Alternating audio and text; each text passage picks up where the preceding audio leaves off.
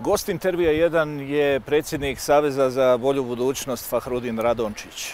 Predratnu, vrlo uspješnu novinarsku karijeru nastavio je poslije rata u menadžerskim vodama. 2009. godine na čelu je stranke koja u nekoliko izbornih ciklusa igra vrlo važnu ulogu u formiranju vlasti.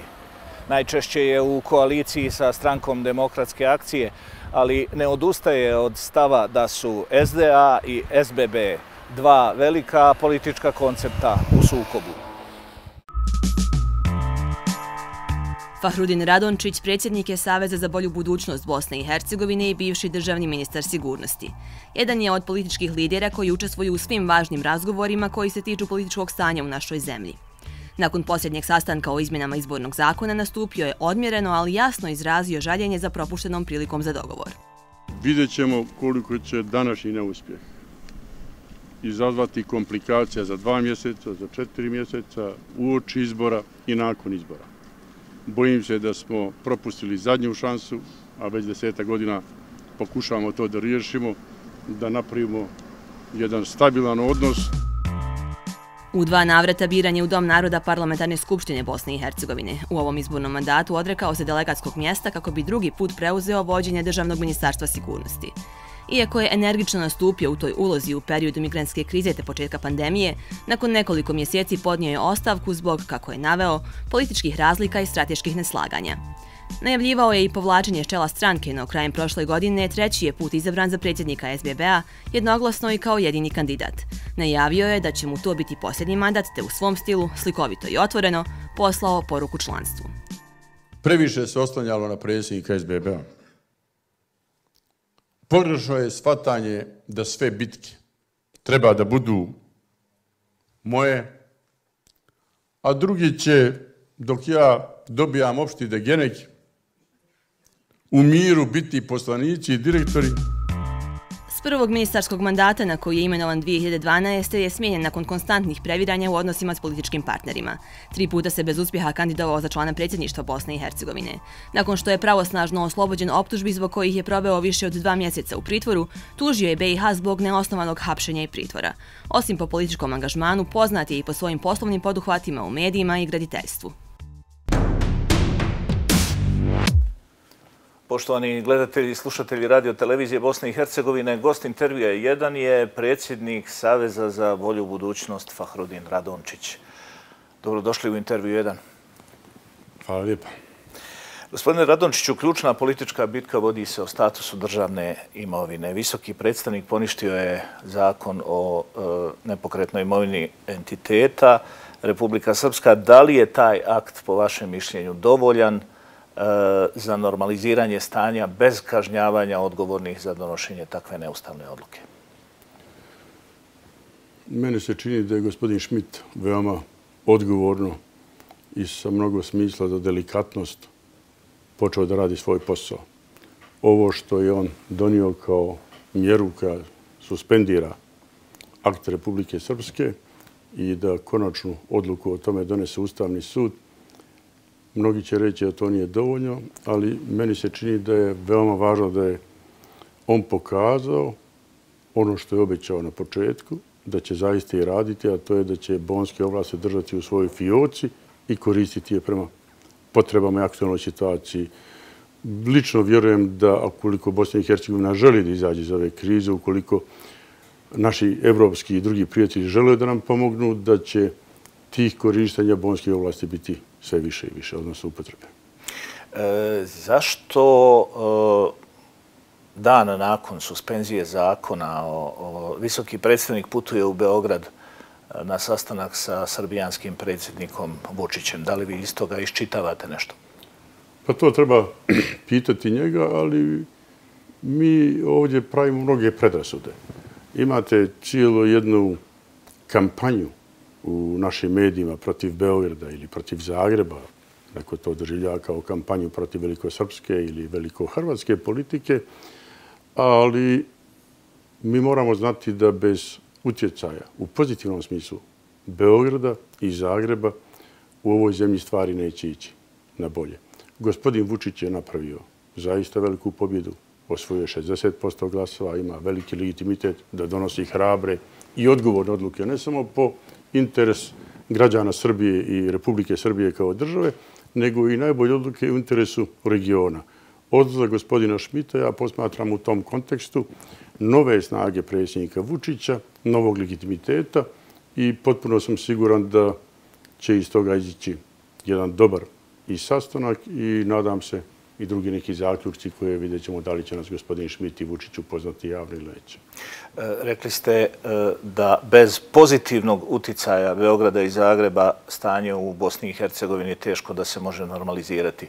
U čemu vi vidite taj pozitivan uticaj? Naprotiv, javnost e, svjedoči brojnim negativnim i komentarima i potezima. Javnost je upravo, ali hajmo ići činjenično. Srbija je prva zemlja u regionu koja je poslala veoma važne količine vakcina za naše ljekare. Nakon toga imali ste i opciju da mnogi naši građani, dok naša nesposobna vlast nije bila u stanju da nabavi vakcine, mogu tamo da se vakcinišu. E, dali su nam 23 optužnice da ih procesuira naše otužilaštvo Bosne i Hercegovine. Predsjednik Vučić je dao jednu sedativnu izjavu da Bosni i Hercegovini neće nedostajati pšenice dok je ima Republika Srbija. To su one pozitivne stvari koje mi čujemo o Srbije. Stvari koje nas izjave s razlogom konsterniraju i ono što govori Vučić, e, pardon, Vulin. Vulin. Vulin govori o srpskom svetu. Vulin govori praktično o nečemu što je staro od Vase Čubrilovića ili Egarašanina do Miloševića i mi prema tome trebamo da budemo energični u smislu suprostavljanja takvoj politici i veoma oprezni. S druge strane, kada je Hrvatska u pitanju, imali ste tešku retoriku predsjednika Milanovića.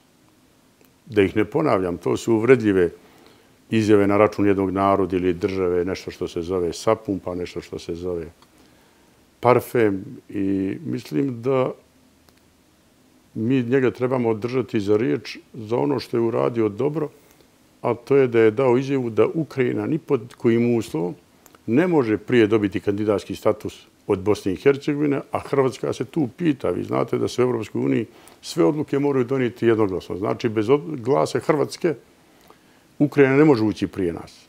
I to je ono što treba tražiti dobro u Milanovićem izjavama, a vi znate da sam ja to konotirao u jednom negativnom kontekstu, taj njegov dolazak e, davanja odlikovanja koja su veoma sporna iz ugla nas Bošnjaka. Vi ste tamo imali i udruženi zločinački poduhvat, imali ste pravosnažne presude Međunarodnog suda pravde u Hagu i vjerujem da Hrvatska treba da bude ona, kao kad sam ja bio ministar sigurnosti, kad sam sa kolegom Božinovićem radio velike stvari. Nas spaja ili dijeli, a bolje da nas spaja hiljadu i nešto kilometara granice. Hrvatska je nama puno pomogla u koroni da deblokiraju konvoje auto, o, kamiona sa humanitarnom pomoći. Hrvatska mora biti naš veliki saveznik i veliki promotor interese Bosne i Hercegovine u Evropsku uniju i šire i u tom smislu mi moramo da shvatamo da i tamo postoje različite političke stranke, da i tamo postoje izborne kampanje, da i tamo desnica jača, ali sam potpuno siguran da jedna stabilna politika Hrvatske i Srbije u dugoročnom smislu neće izostati. E, još kratko da se vratimo na e, zvanični Beograd. Kažete, Vulin priča o srpskom svetu. E, neki bi rekli, Vulin priča ono što Vučić misli, jer Vučić nije bar javno iznio nikakvu ogradu sprem stavova koje Vulin priča kontinuirano iznosi? Mi od predsjednika Vučića imamo stalne izjave da on želi mir u Bosni i Hercegovini, da poštoje suverenitet i teritorijalni integritet Bosne i Hercegovine. O, integritetu, o teritorijalnom integritetu govori, o suverenitetu do sada nije govorio. Govorit će. Bosna i Hercegovina je stabilna država i mislim da svaki političar pa na regionu toga mora biti svjestan da li će gospodin Vulin ponovo biti ministar ili neće. Hajmo sačekati kako će izgledati ta nova, nova vlada. Ne bih ja vezao izjav jednog političara da to obavezno mora biti pamet onog drugog. Citiram vašu uh, izjavu, politika Milorada Dodika je prošlost. Uh, je li to preuranjena izjava? Mislim da nije. Svaka politika separatizma u Bosni i Hercegovini je prošlost. Vidjeli smo svi nakon e, te brutalne agresije na Ukrajinu kako su se Evropska unija i Sjedinje američke države homogenizirali, kako su našle zajedničke tačke u vođenju vanjske politike koja se tiče i nas, kako neće dozvoliti taj separatizam i imamo mjere koje su izuzetno efikasne prema predsjedniku Putinu i režimu u Moskvi. Kada to sve sagledate, nije teško doći do zaključka da Republika Srpska, koja je i teritorijalno, i ekonomsko, i po svakom drugom smislu mnogo manja od Velike Rusije, dobro zna šta joj slijedi zbog separatizma Milorada Dodika. Ta politika je prošlost, daleko je do izbora, vidjet ćemo da li će opozicija u Republici Srpskoj, a ja sam uvjeren da hoće, uspjeti da pobjedi tog i takvog Dodika, ali prije nego što se to dogodi, mi moramo legalistički, uz puno poštovanje ili poštivanje presumcije nevinosti, sačekati da vidimo šta će biti sa njegovim pravnim problemima pred tužilaštvom, odnosno možda i sudom BiH, da li će na sve ove silne provokacije, a to više nisu provokacije, to su čak i konkretna činjenja, u smislu separatizma, gospodina Dodika oštrije, preciznije reagirati i ured visokog predstavnika i ukloniti ga sa političke scene. Ja ne isključujem takav scenariju, pozivam visokog predstavnika da koristi svoje mehanizme. E, Govorili ste o političkom e, aspektu djelovanja e, Milorada Dodika. MUP Republike Srpske tvrdi da je e, napravljena procjena da je ugrožena sigurnost člana predsjedništva i članova njegove porodice. Mjere osiguranja su podignute na najviši nivo i e, pred zgradom e, entitetske vlade. E, ima li u tome straha od pokušaja hapšenja e, zvaničnika e, Republike Srpske zbog sumnje na korupciju? Imamo nešto što se zovu špekulacije. Gospodin Dodik je pokazao taj e, odgovoran odnos prema institucijama, a to je tužilaštvo Bosne i Hercegovine koje je negirao. Ipak je on dva puta došao u tužilaštvo Bosne i Hercegovine da da izjavu ne mislim da njemu prijeti bilo kakva opasnost e, u smislu nečega što se zove ugrožavanje sigurnosti prema informacijama koje ja imam, ali vi znate, MUP Republike Srpske može da pravi svoju procjenu na bazi nečki i drugih informacija i podataka. Nisam sklon toj teoriji zavjere da će njega hapsiti NATO snage, i one su to danas i demantirale. Mogu oni praviti taj cirkus od pojačanja mjera oko njega, ali ukoliko Dodik bude trebao da bude pritvoren, ja sam čak siguran da njemu ne ostaje druga opcija nego da se sam, ko i mi drugi, prijavi ili na miran način dozvoli da bude pritvoren. Šta je druga opcija? Druga mu je opcija da bude bjegunac. Mislim da nijedan pametan čovjek, ako se osjeća da ispravno radi u svom životu, to ne treba da radi. E, sankcije političarima se redaju, ali e, znakovitije su sankcije e, bivšim najvišim zvaničnicima pravosudnih institucija. Kako gledate na tu činjenicu? Ne može Bosna i Hercegovina biti prva po sistemskoj korupciji, a da tu nema dijelova, naglašana dijelova pravosuđa koji su dio te opšte igre. Ja sam kao ministar sigurnosti u prvom mandatu 2012. čini mi se 13. pokrenuo e, implementiranje poglavlja 23 24 pravo i pravda i govorio sam o toj grudvi koja je krenula i mislim da sam zbog toga prošao neke stvari koje pokazalo se nisam trebao da prolazim. Bosna i Hercegovina nema druge opcije nego da se pobije sa korupcijom, a najopasnija korupcija je sistemska korupcija. Vidio sam da je danas predsjednik Visokog sudskog turlačkog vijeća, gospodin Laguđe, najavio da su mu prijatelji iz američke ambasade nagovijestili da će biti još ljudi iz pravosuđa koji će se naći na crnoj listi. Ne treba špekulirati ko će to biti. Ja mislim da je to dobar put da ljudi koji su pravili kombinacije, nezakonito radili svoj posao, bili u koketiranju sa bilom kojom vrstom organiziranog kriminala, pa i političara, trebaju da idu iz pravosuđa i meni se čini da sam danas vidio stvar da je gospodin Sarajlić dao ostavku na poziciju u Domu naroda i mislim da to treba da uradi gospođa Tadić. Uh, upravo to je, to je sljedeće pitanje. Je li vas iznenadila činjenica da je bivša glavna tužiteljica na crnoj američkoj listi? E, imali ste, ajde da tako kažem, neku vrstu e, e, benevolentnog stava prema e, njenom radu dok je bila u mandatu. Čak se spekuliralo da je pogodovala nekim procesima u tužilaštvu kad je u pitanju Avazi i njegovo funkcioniranje. Te, te spekulacije nisu demantirane. Avaz je po stalnim kontrolom i to traje godina. I Avaz nema potrebe bilo šta da spekulira. Niti ona štiti vas, ima potrebe da štiti vas. Imate dio obaveštajnih medija iz prljave kuhinje, iz vrha SDA koji stalno plasiraju Avaz u nekom negativnom kontekstu što je pritisak na medije. Imali ste intervju gospodina Bakir Zedbegovića na jednoj televiziji u sred Ramazanu, kada se ne šalju loše poruke. Da on je spomenuo kontekst tog čuvenog teksta u New York Timesu prije 22 godine koji je optužio njega i još neke da su okrenili milijardu njemačkih maraka ili dolara. I on je to spomenuo i rekao mi ćemo morati da učinimo sve da se vrati odgovorno za javnu riječ, jer kao je da on je ukinuo verbalni delikt, prestalo je da kleveta bude krivično ono, djelo za koje se idu u zatvor, ali mi ćemo sad na sve načine gledati to da promijenimo. Pritisak na vas kao jedan slobodan medij nikada nije prestao i neće prestati. Što se tiče gospođa Tadić, ja sam bio prije neko večer u veoma referentnom društvu kad mi je došla poruka od nje, ste li sada sretni što sam smijenjan?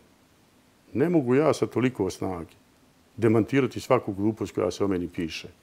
Vidio sam da misli da sam ja pomogao da dođe na crnu listu, što je budalaština. Svi mi volimo da mistificiramo neke navodne svoje moći. Niko, tvrdi vam potpuno odgovorno, od bosansko-hercegovačkih političara pa i medija, niti zna, niti je znao ko će biti na crnoj američkoj listi. I u tom smislu, tim komentarima u špekulacijama može biti mjesta, nema nikakvog mjesta. Nema tog procesa koji ja vas nije prošao ili ja lično, uvijek smo iz toga izlazili jači, zato što radimo po zakonu i u tom smislu niti je bilo potrebe da ona nama nešto pomaže, niti nam je pomagala, da budem iskren.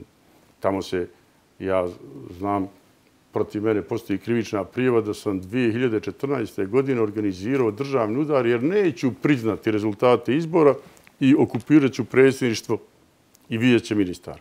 I vi ste vidjeli 14. godine, mi smo priznali rezultate izbora, nije bilo nikakvog ukupljanja, a i dan danas to je stvar koju tužilaštvo nažalost ne završava. Nekom se možda u tužilaštvu i slala poruka, dajte da mi vama nešto po znacima navoda pomognemo da bi, pomognemo da bi vas činili ovisnim. Ali ovdje je poenta da tužilaštvo mora da shvati. I mislim da takvo vrijeme dolazi da nema mjesta za političke poruke i političke procese. E, zalažete se za e, obnavljanje bošnjačko-hrvatskog dijaloga. E, podržali ste na svojevrstan način i zahtjevo e, legitimnom predstavljanju, odnosno e, citiraću da bošnjaci ne treba da Hrvatima biraju predstavnike u institucijama Bosne i Hercegovine. Međutim, jedan od lidera HNS-a kaže, citiram, Turski Zulum ujedinio je Srbe i Hrvate. Da li je moguća obnova e, bošnjačko-hrvatskog dijaloga u ovakvoj atmosferi? Ne da je moguća, nego je neminovna.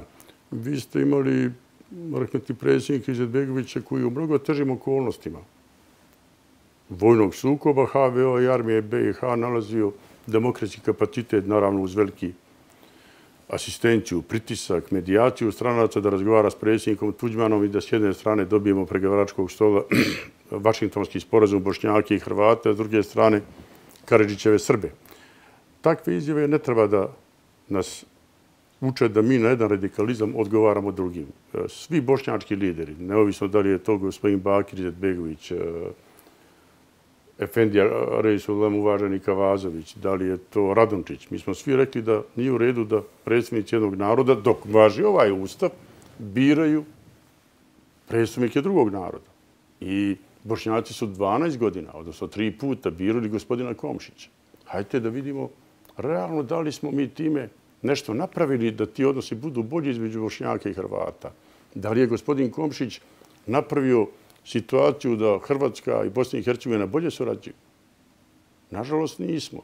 Prema tome, možemo se boriti i trebamo se boriti za građanski koncept, ali čini mi se da je te prozivke da sam ja izdajnika prije toga su uradili to i gospodinu Konakoviću u tim pregovorima na jedan način koji se naravno nije vezao za nas dvojicu, niti ima veze sa Radočićem ili sa Konakovićem, najbolje okončao eh, gospodin Eskobar, koji je rekao što se tiče građanske države, to je zvaničan stav State Department, o tome se može razgovarati i to se implementirati kad Bosna i Hercegovina postane članica Evropske unije. Hoću da kažem, nama treba građanska država, ali u trenutku kada su dva naroda, kada su dva naroda protiv toga, nije realno očekivati da mi to možemo implementirati na sljedećim izborima. E, citiram vas, građani su nas najviše kaznili na općim izborima zbog koalicije sa SDA. Rizikujete li e, ponovo zbog kooperativnosti u ispunjavanju zahtjeva HNS-a da budete kažnjeni na narednim općim izborima? Ništa mi ni SDA, ni SBB ne, ne rade na način da ispunjavamo bilo čije političke želje, pa i HNS-a. U ovim pregovorima, ja sam to javno rekao, gospodin Izetbegović je napravio dobar rezultat jer je insistirao da se reduciraju ovlasti Doma naroda. I hrvatska delegacija na to pristala. I vjerujte, napravljen je izvanredan rezultat kakav Bosni i Hercegovina, odnosno federacija, nema do sada da praktično više nikada ne bi imali situaciju da se može blokirati izbor predsjednika i dva dopredsjednika federacija, da se može blokirati izbor federalne vlade, da se može blokirati izbor sudaca Ustavnom sudu federacije. Nisu to nikakvi ustupci, to je čak dobitak ove, po znacima navoda, bošnjačke pregovaračke strane, jer, nažalost, kolege iz e, Saljevice, SDP, DF i naša stranka nisu htjeli da prisustuju tim razgovorima.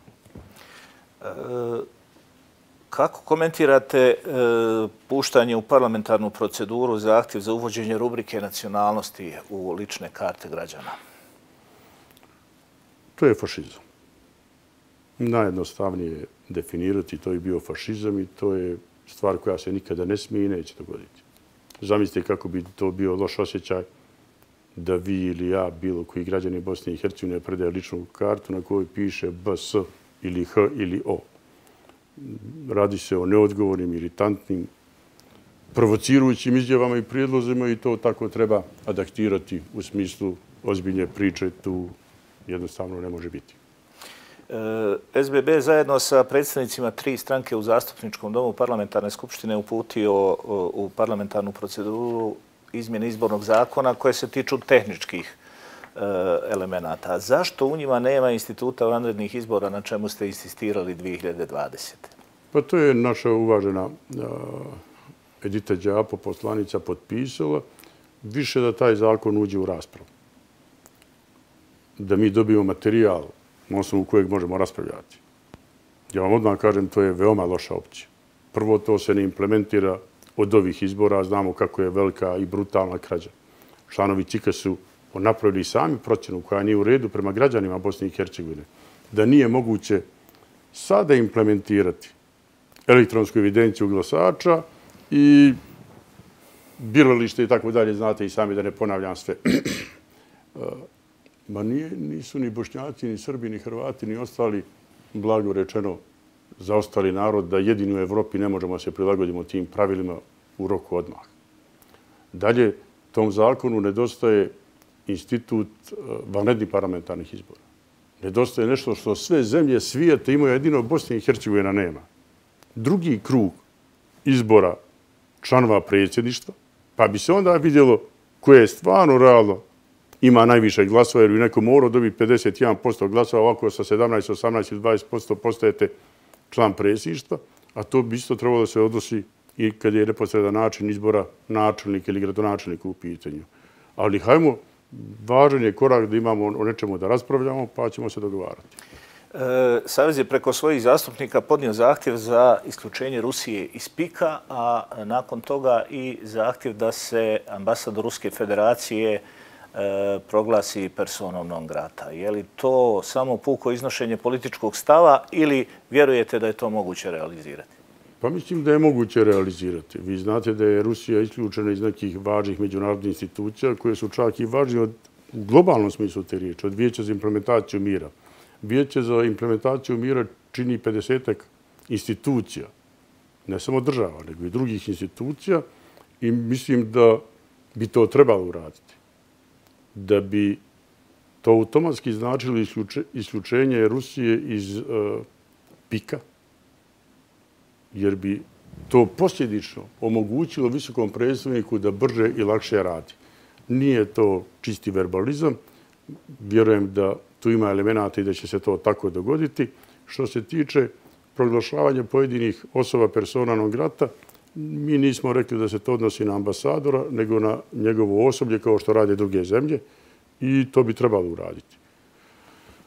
Ambasador Rusije u Bosni i Hercegovini napravio je, ima elemenata i za njegovo traženje persona non grata, nekoliko nedopustivih miješanja unutrašnje stvari Bosne i Hercegovine, da vam ne kažem da je on novina medijske kuće, žao mi je da sad ispadne da moram reći da je to... Nema potrebe, dakle da, novinarima Avaza je direktno prijetio. Zaprijetili su to dva puta da ćemo mi upoznati šta znači odgovor, odnosno osveta iz dubine ruske duše. Znači mi kao društvo, mi kao demokratija, oni kao mediji ili kao novinari. I vjerujem da to nigdje u svijetu ne bi moglo se prešuti kao što se prešutilo u Bosni i Hercegovini. Prema tome oba zahtjeva stoje i mislim da su potpuno realna i diplomatski ispravna. Došli smo do naše rubrike gdje ličnosti iz javnog života postavljaju pitanja gostu intervjua. E, vas su pitali Mine Labaz, novinar istraživač istinomjera, e, Igor Božović, novinar BH Radija 1 i Ahmed Bajrić, Blicko, fotograf. Nakon što su Asim Sarajević i Gordana Tadić dospjeli na takozvanu crnu listu ministarstva financija, pojedine partije su pozvale e, uh, DF da izađe iz koalicije sa SDA na svim nivoima vlasti. Kakav je stav SBB-a u pogledu saradnje sa SDA nakon ovoga? Također, ukoliko bi DF uh, e, napustio vijeće ministara, to bi značilo i ostavku ministra odbrane. Da li bi to u ovakvom političkom i geopolitičkom trenutku bio odgovoran potez kada se radi o državnim interesima Bosne i Hercegovine? Pa jučer smo prisustvali jednom nepotrebnom incidentu da je Demokratska fronta dala jedno saopćenje, odnosno gospodin Komšić u prvom licu, veoma teško i nepotrebno na moj račun, i gospodina Konakovića, kao da mi tražimo upravo to što uvažene vaše kolege pitaju. Stav SBB i moj stav je da Demokratska fronta ne treba da napušta koaliciju sa SDAO na državnom nivou. Ja sam mjesecima zajedno sjedio sa gospodinom Sifetom Počićem, koji je odličan ministar odbrana. I nema razloga da izlazi iz vijeća ministara, da ne govorim kolika bi to usluga bila SNSD-u pa i HDZ-u da vi imate vijeće ministara ko nije kompletno i ne možete ga kompletirati. I da imate bošnjaka manje u vijeću ministara i moj stav tu veoma precizan, nema potrebe da DF napušta tu koaliciju, to je bilo politički štetno i po vijeće ministara i po Bosnu i Hercegovini. U ostalom, evo danas je gospodin Sarajlić napustio dom naroda i to relaksira situaciju. I mislim, inače ne treba brkati babe i žabe. Demokratska fronta jeste tražila od SBB i SDA da se napusti vlada u kojoj je bio PDA. Ali ima jedna važna nijansa. Zašto DF ne treba napušta koaliciju s SDA? PDA-ov predsjednik je stavljen na crnu listu, a ne neki poslanik ili delegat i to je ogromna razlika i zato zaista mislim da eh, gospodin Podžić i DF u toj koaliciji treba da nastave svoj posao do izbora novog. Budući da ja baštinim e, crnogorsko i hrvatsko obiteljsko nasljeđe i identitet i osobno me pogađaju pitanja poput presuda Sedići Finci ili uzurpacije pozicije hrvatskog člana predsjedništva, zanima me na koji biste način vi riješili uh, ovo i slična pitanja kao dom naroda koja zapravo koče svakodnevnu politiku, a udaljila su nas od Washingtonskog i Daytonskog mirovnog sporazuma udaljilo su nas od ekonomskih tema. Niko ne razgovara o socijalnim temama, o poskupljenjima, o tome da u Sarajevu kao prijestolnici ne postoje tri krana, da nam ljudi masovno odlaže. Najbolji način da se riješe e, hrvatsko-bošnjački odnosi i na najlaganiji način to bi se uradilo indirektnim izborom klanova predsjedništva. Ja to govorim već deseta godina i nisam daleko od optimizma da će se to tako na kraju morati riješiti. Da se članovi predsjedništva Bosne i Hercegovine biraju kao što se biraju u Italiji ili Njemačkoj. Znači u parlamentima. Izbjegli bismo ove velike tenzije, jer vi kad vidite zbog te jedne pozicije najveća tenzija u hrvatsko-bošnjačkim odnosima. Hrvati su zaista dobro zastupljeni na drugim pozicijama. Oni naravno sada ne žele da ih neko svede na nacionalnu manjinu tako što bi se dom naroda potpuno ukinuo, a takvi zahtjeva ima i oni nisu realni. Zašto? Zato što bez hrvatskih ruku u Domu naroda i u predsjedničkom domu parlamentarne skupštine Bosne i Hercegovine niti se jedan zakon ne može promijeniti. Oni naravno neće nikada glasati za takve zakone koji ih pretvaraju u nacionalnu manjinu. Ja mislim da to nije ni bošnjački interes, niti interes Bosne i Hercegovine da jedan od tri konstitutivna naroda doživi status nacionalne manjine. I ovo je put, indirektan način članova, izbora članova predsjedništva da harmoniziramo odnose između Hrvata i Bošnjaka. Gospodine Radončiću, hoćete li kao lider SBB-a zanemariti stranačke interese i pomoći da Bošnjaci u Republike Srpskoj zajednički nastupe na, na sljedećim izborima? SBB tu nikada nije bio sporan. Mi smo svaki put potpisivali koalicije još od kada je bio rahmeti predsjednik Tihić. Mi smo to radili čak i na način da je SDA sve te pozicije davala sebi.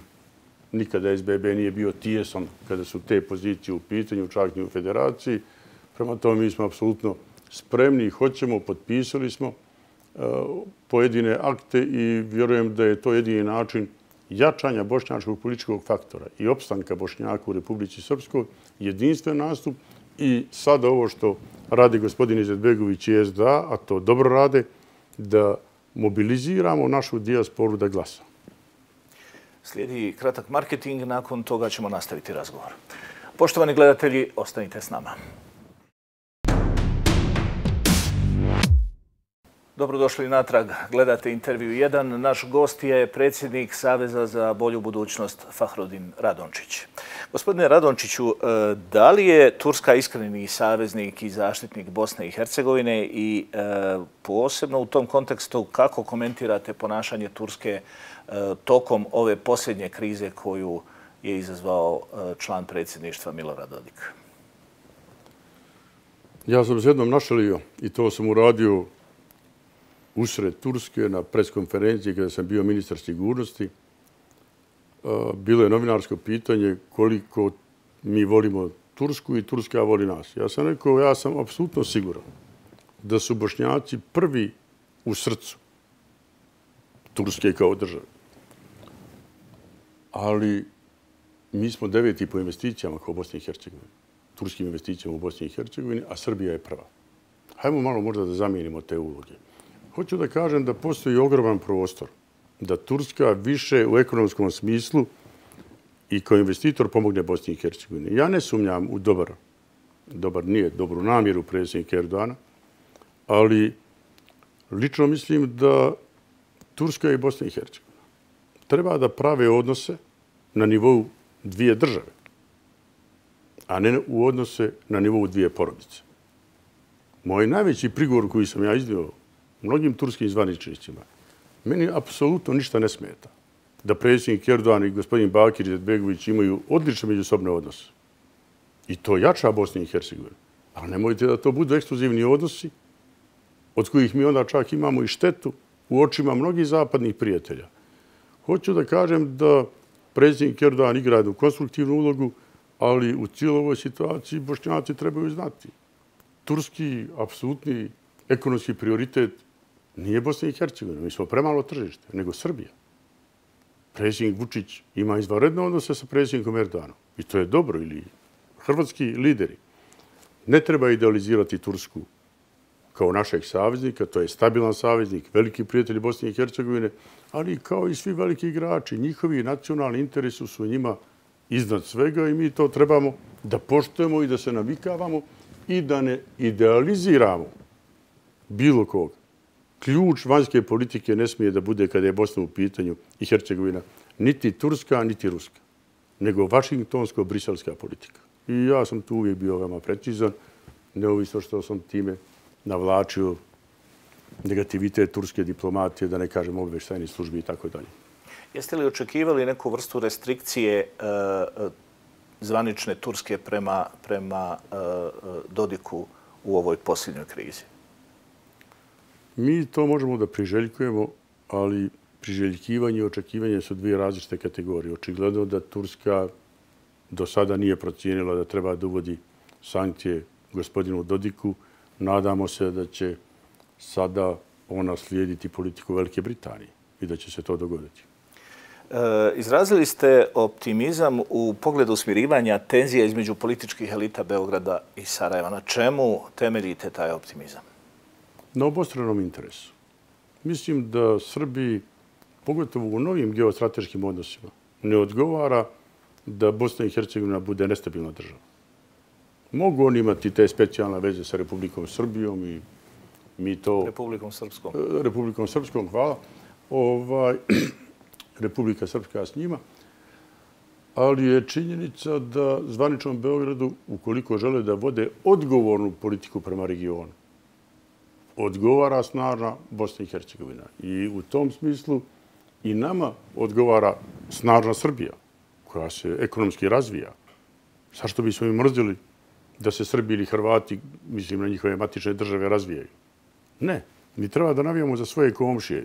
Kako god uzmete, mi smo jedni drugima najbliži, ali i oni moraju da razumiju i pokazuju takav interes prema Bosni i Hercegovini. Kad uzmete saradnju u trgovini i drugim oblastima, to su najveće cifre sa našim susjedima i zato sam uvjeren da će i jedna i druga politika, mislim i na zvanični Zagreb i na zvanični Beograd, doći do zaključka da je ovo idealan trenutak nakon agresije na Ukrajinu, da se naši odnosi harmoniziraju i stabiliziraju. E, Srbija prednjači u odnosu na susjede u naoružavanju. E, kako e, to ocjenjujete posebno kao bivši ministar sigurnosti? Vidite li to kao problem? Ja zaista ne mogu s ovoliko godina i toliko iskustva životnog, pa i političkog, pa i ministarskog biti naivan čovjek, ali sam uvjeren da njihovo naoružavanje ne može biti e, na štetu ili prijetnje Bosni i Hercegovine. Nemoguće je rat ili bilo kakva vrsta nove Miloševićeve agresije na Bosnu i Hercegovinu. Sve zemlje, zemlje svijeta jačaju svoje odborbene snage i neka to rade. Mi, naravno i Bosna i Hercegovina to treba da radi. Nisam siguran, ne želim da vjerujem u to. Mislim da međunarodni odnosi snaga su takvi da Srbija ne može čak i kad bi htjela, a mislim da neće, da ima bilo kakve vojne aspiracije ili teritorijalne aspiracije prema Bosni i Hercegovini i ne mislim da time bosansko-hercegovačka javnost treba da se plaši ili optereće. E, šta je bila funkcija najave e, vašeg povlačenja sa čela Saveza za bolju budućnost?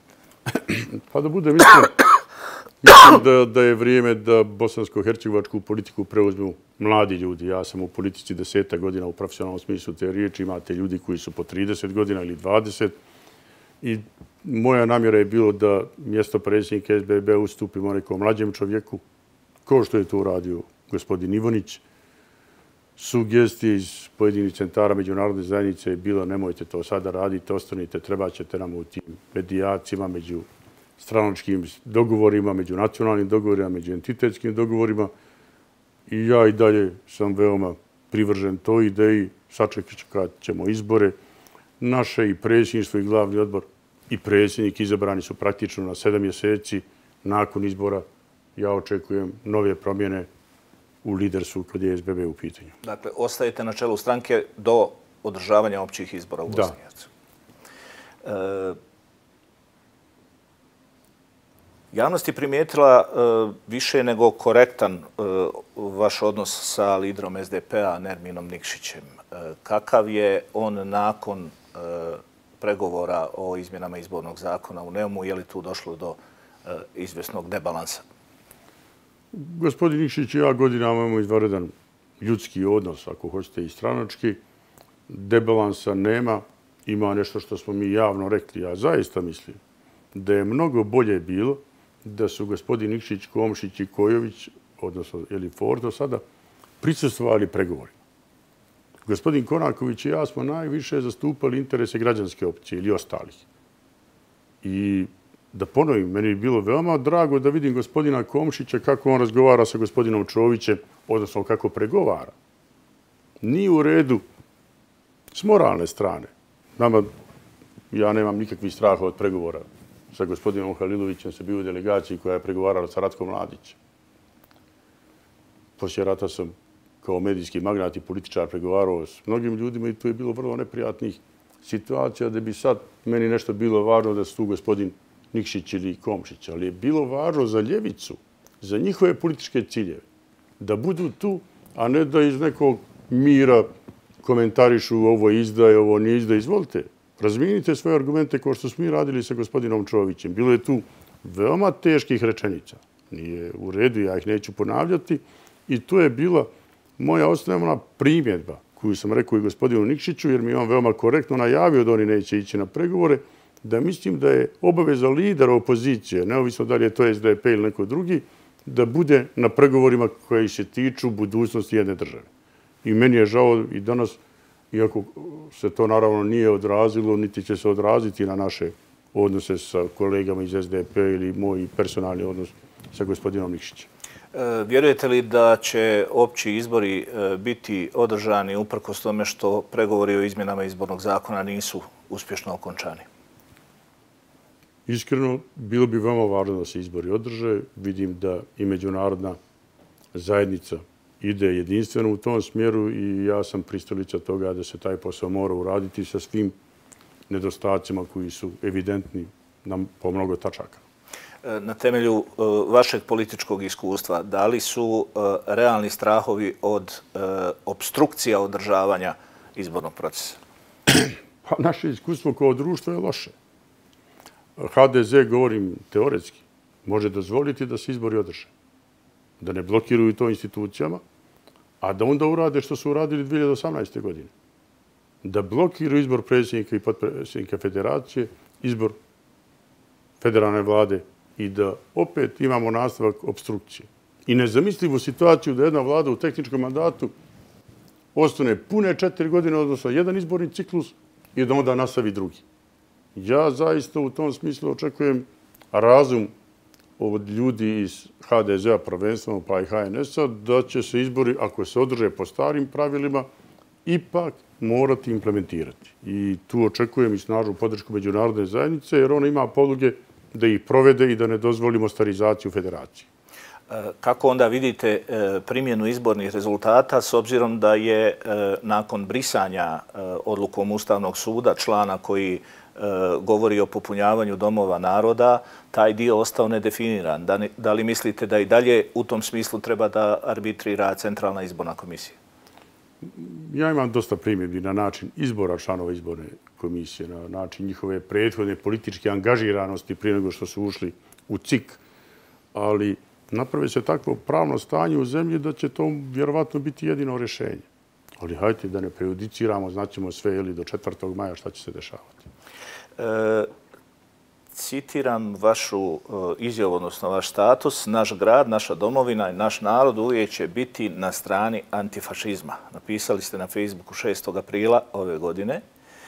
Kako onda komentirate to što u Sarajevu neke ulice jedna škola nose imena ljudi koji su ili sarađivali sa fašističkim režimom ili bili simpatizeri tog režima? Ja sam to tada objavio, tačnije objavio sam očevu sliku mog rahmetljoca u partizanskoj uniformi e, neovisno od naših privatnih istorijata, ne smije u Sarajevu biti ni jedna ulica, zvaničan naziv te ulice, koji će koketirati sa pomagačima fašizma. Vi ste u izveštaju State Departmenta za ljudska prava imali veoma preciznu rečenicu koja se toga tiče. I ja očekujem da će trojka kao zvanični predlagač krenuti to da radi. Ako ne, mi ćemo opet kao klub SBB-a tražiti da se tih nekoliko ulica koje zaista kompromitiraju bošnjake bez ikakvog zdravog razloga ovaj, pobrišu. Na kraju jedno vidjeli ste skoro na ulicama Sarajeva stavljene su makete obješenih ljudi. Ustaše su divljale po ovom gradu. Ubijali su patriote, neovisno da su to Srbi, Hrvati ili Bošnjaci. Nema niti jednog zdravog razloga da mi koketiramo kao društvo sa tom vrstom fašizma. E, pred kraj smo razgovora 2018. godine u ovom intervju najavili ste izgradnju novog vazovog tornja u obliku dvije skije koji bi e, na neki način e, vratio imidž Sarajeva kao olimpijskog grada. Šta je s tim projektom? Taj projekat se radi, dobili smo urbanističku saglasnost, malo se promijenio dizajn, ali poenta cijele priče je da mi zaista Sarajevo treba da doživljamo kao prijestolnicu. Kamo sreće da u ovom gradu postoji još 20 tornjeva. Kamo sreće da ovaj grad djeluje kao sila privlačenja mladih ljudi iz Banja Luke ili Zapadnog Mostara. Sarajevo se provincijaliziralo u smislu da ne pratimo korak sa regionom, a kamo li sa drugim metropolama, zbog naših domaćih talova, gdje je važnije da potkupite nekog načelnika ili ministra da riješite neki mali problem, nego da dovodite kapitalni investitori i da mijenjate grad. Šta smeta SDA je vladala decenijama Sarajevo? Evo sad vlada trojka. Nisu u stanju da urade običnu gradsku magistralu od 10 km, koja se zove prva transverzala. Nisu u stanju da urade dvije longitudinale od aerodroma do starog grada ili od Halilovića do, do, do državne bolnice, opće bolnice. I da imamo 14 raka kroz Sarajevo. Nema izgradnje.